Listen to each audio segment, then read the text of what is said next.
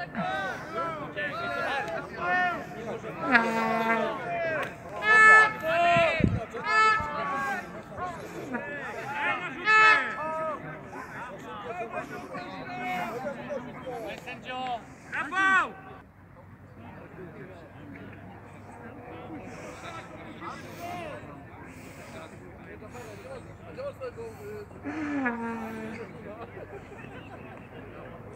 O, przygotowania bramkarza po zmianie.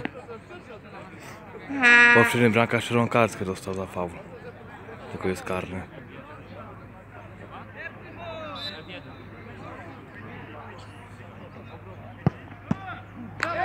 I brawo.